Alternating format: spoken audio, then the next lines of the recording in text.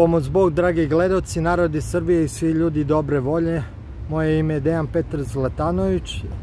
Vi ste na kanalu Srbin Info. S nama je predsjednik Srpskog pokreta Dveri, gospodin Boško Obradović. Pomoć Bog, Boško. Bog pomogao i vama i svim vašim gledalcima.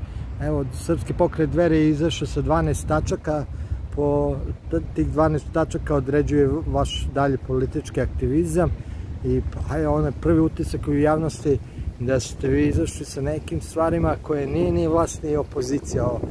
Možete sad da pojasnite za naše gledalce uh, ajde, tih 12, šta je naj, najvaž, najbitnije od tih 12 tačaka? Pa pre svega primetili ste ono što ja mislim da je suština, da je u pitanju treći put. Dakle, po čemu se dveri razlikuju i od vlasti, ali i od ostatka opozicije. Mi smo nesumnjivo opozicija, mi nikada nismo sarađivali sa ovom vlašću, mi smo jedan od najborbenijih delova sadašnje srpske opozicije, ali se razlikujemo istovremeno od ostatka opozicije, najviše po određenim programskim, dakle ideološkim pitanjima. I taj moj tekst, autorski tekst na temu 12 razlika dveri u odnosu i na vlast i na opoziciju ima za cilj da pokaže koje su to razlike. Šta je zapravo moja osnovna ideja? Dveri sa jedne strane imaju veoma važan zadatak da raskrinkaju lažne patriote na vlasti, jer zapravo mi na vlasti imamo lažne patriote i to je možda najvažnija definicija ove vlasti. A sa druge strane, naš zadatak je strateški, dugoročni, najvažniji zadatak da ne dozvolimo da sledeća vlast nakon pada Aleksandra Vučića i režima Srpske napredne stranke bude anacionalna. Dakle, dveri imaju za cilj da u toj budućoj vlasti koja mora doći ne dozvole da tako kažem, da na vlast dođu antihrišćanske, antiporodične i antinacionalne vrednosti, već da ta vlast u sebi ima jednu značajnu suverenističku, patriotsku i tradicionalističku komponentu. Naravno, pre svega, gledajući na taj naš hrišćanski pogled na svet i na našu porodičnu politiku. Dveri su pre svega porodični pokret patriota, dakle rodoljuba, koji žele da Srbija bude zemlja u kojoj će porodica biti na prvom mestu. I nama je veoma važno da ta buduća vlast ne bude antihrišćanska, ne bude antiporodična, ne bude antinacionalna. To je naš centralni zadatak. Konkretno kada sam pisao tih 12 e, tačaka koje ukazuju da se dveri razlikuju od vlasti i opozicije, mislio sam na sledeće. Mislio sam pre svega da mi nikada nismo bili na vlasti, i to nas naravno razlikuje od ostalih. E, mi nikada, niko od nas nije bio funkcioner demokratske stranke i bivšeg režima. Mi e, smo sa jedne strane E, desnije od drugih na e, opozicijalnoj političkoj sceni, evroskeptici smo, ali smo istovremeno i građanske patriote i hrišćanske demokrate. I ono što posebno želim da istaknem, mi smo jedna vrsta antisistemske alternative. Mi smo garant da nakon pada ove vlasti neće i ne sme ostati sve isto. I to je, rekao bih, možda najvažnija stvar koja građane Srbije u ovom trenutku interesuje.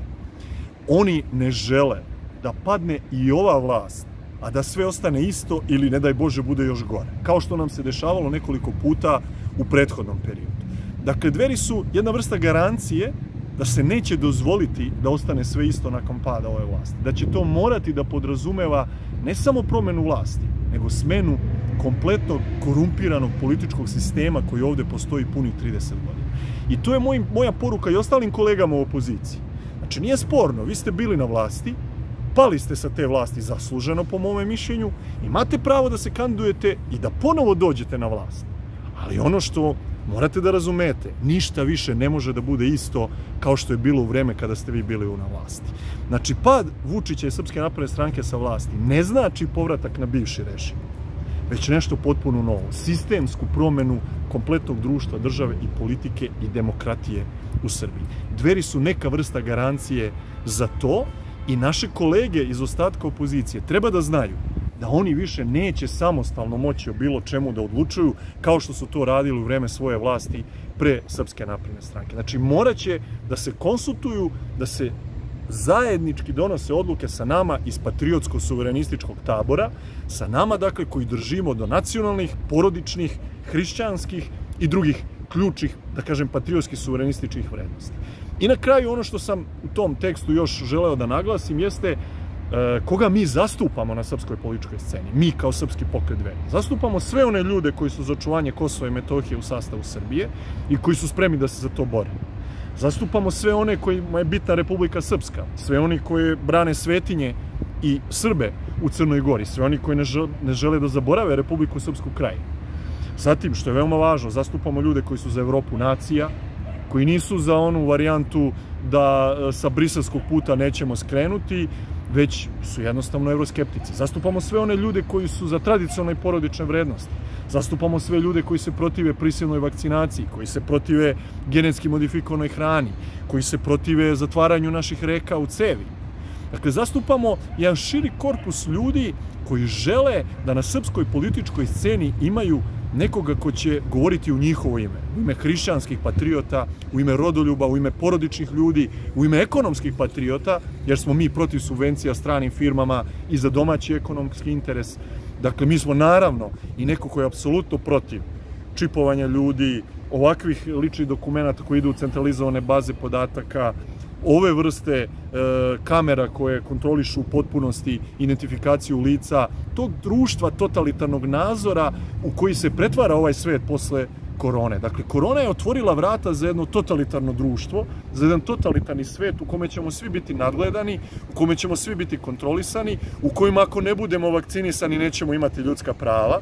Dakle, ovo je jedan opasan svet nakon korone i mi zato tražimo i borimo se za obnovu srpske demokratije, jer će nam jedino demokratija obezbediti osnovna elementarna ljudska i demokratska prava da se o svemu pitamo i odlučujemo i da zaštitimo naše porodice i da zaštitimo naša osnovna ljudska prava. I to je neka ideja kako se dveri pozicioniraju na srpskoj političkoj sceni kao deo korpusa opozicije ali različiti i od ovih lažnih patriota vlasti i od ostatka opozicije po ovim ključnim ideološkim i programskim stvarima. Ajde da konkretizujemo. Šta to konkretno znači posle smene Vučića? Imali smo, evo, posle 5. oktobra otiše Slobodan Miloševića, dobili smo Dačića. Je li moguće onda da posle, na osnovu ovog što ste vi rekli da posle Vučića imamo, na primjer, Nebojšu Stefanovića ili nekog drugog? Šta je ključna razlika koja se nije desila 5. oktobra 2000. Nisu oni prethodni odgovarali za sav kriminal, korupciju i sve loše što su radili u periodu 5. oktobra 2000. To ovoga puta ne sme da se dozvoli. Isto se desilo nakon e, pada Aleksandra, e, izvinjam se, Borisa Tadića sa vlasti.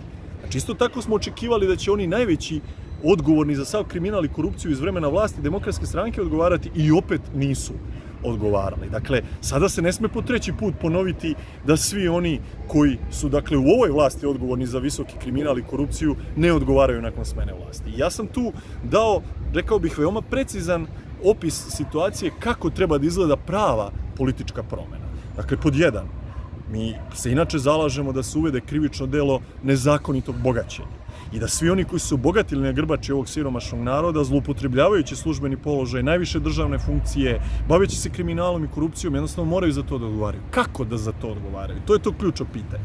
Pod jedan, to je krivična odgovornost, odnosno zatvorska kazna, odnosno ta vrsta kažnjavanja koja, dakle, znači robiju. Pod dva je imovinska kazna, znači oduzimanje nezakonito stečene imovine. Pod tri je finansijska kazna, Znači, kazna za pronavere u kojima ste učestvovali mora biti finansijska kazna koju vi morate da platite. I na kraju, posebno važno, lustracija, odnosno zabrana obavljanja javne funkcije u nekom dužem periodu. I ja sam već kandidovao određene ličnosti za koje smatram da prve treba se nađu na tom spisku.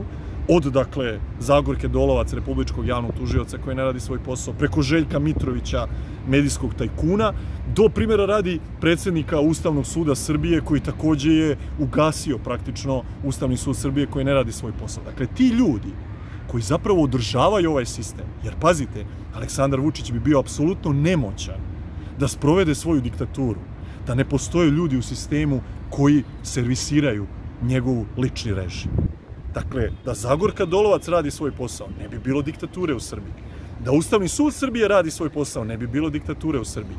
Da REM kao regulatorno telo za elektronsko medije kažni televiziju Pink, ne bi zapravo bilo ovakve medijske diktature i medijskog mraka u Srbiji.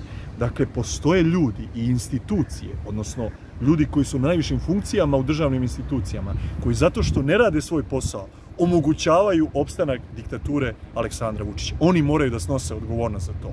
I krivičnu, i oduzimanje imovine i finansijska kazna i što je posebno važna ilustracija kao vid zabrane obavljanja bilo koje javne funkcije u određenom periodu. 5 godina, 10 godina, a za nekoga, boga mi, to bi trebalo da važi i doživot.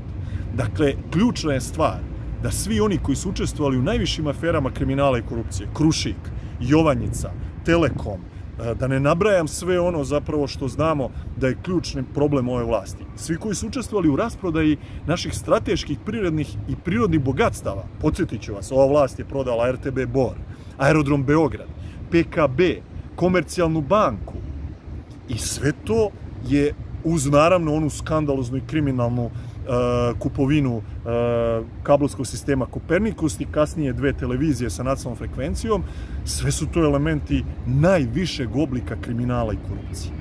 I prosto je neverovatno kako do sada ti političari nisu pretrpeli kaznu u tom smislu da su makar pali sa vlasti, da su morali da podnesu ostavke, da su završili u zatvoru, jer su učestvovali u najvišim mogućim aferama. Pazite, radi se o trgovini drogom, radi se o trgovini oružjem, radi se o rasprodaji prirodnih i prirodnih bogatstava ove države, radi se dakle o aferama o kojima su političari u drugim državama sveta završavali kažnjeni i kaznom zatvora, i finansijskom kaznom, i oduzimanjem imovine i zabranom obavljanja javne funkcije. To je način kako srpski pokret dveri vidi zapravo sistemske prave promene.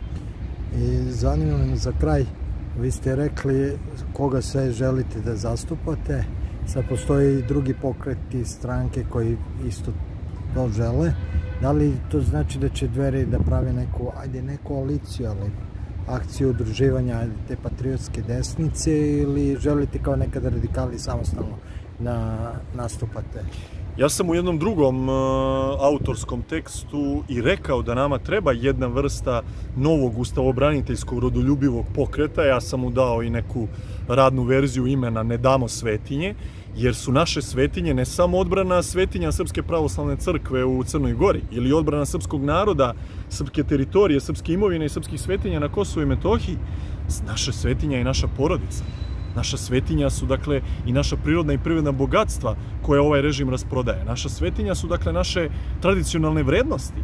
Sve to spada u oblast, da tako kažem, odbrane svetinja i zato bi taj jedan ustavobraniteljski, patriotski, rodoljubivi pokret mogao da nosi naziv Ne damo svetinje, što znači da su dveri veoma raspoložene za objedinjavanje različitih političkih organizacija, grupa građana, sindikata, uglednih javnih ličnosti oko odbrane svetinja ja očekujem da ćemo u nekom nastupajućem periodu već ići ka formiranju jednog takvog fronta i da taj front i jeste jedan potencijal u nastupajućem periodu, jer je mnogo tih tema koje u ovom trenutku niko od nas samostalno ne može da odbrani, već je potrebno jedno široko patriotsko ujedinjavanje, jedan, opet ponavljam, ustavobraniteljski rodoljubivi pokret ili blok, I u tom smislu smo otvoreni, kao što smo otvoreni za saradnju i sa ostatkom opozicije, drugačijih političkih ideoloških opredeljenja oko onih bazičnih demokratskih tema. Sloboda medija, sloboda izbora, svaka vrsta organizacija protesta protiv ove vlasti, mi smo tu. Dakle, mi smo deo opozicijonog korpusa, ali ćemo u nastupajućem periodu do sledećih izbora insistirati na našoj samostalnim programskim promocijama, jer imamo šta zapravo i sačim da izađemo pred građane i da ukažemo na te naše suštinske programske tačke koje se razlikuju i od lažnih patriota na vlasti i od ostatka opozicije. Dakle, u tom smislu verujem da će e, tempo tema koje će se pojavljivati od sada aktualne teme Crne Gore preko teme Kosova i Metohije do teme, ne znam, migranske krize, ekonomske krize i svega drugo što nas čeka, naravno do teme eventualno pokušaja prisilne vakcinacije, biti zapravo idealne ili krajnje teme koje e, dovode do krajnjeg časa za formiranje jednog tako rodoljubivog patriotskog uh, ustavobraniteljskog pokreta koji bi zapravo stao u zaštitu naših osnovnih hrišćanskih, porodičnih i tradicionalnih vrednosti. Hvala vam, Hvala gospodine Obradović.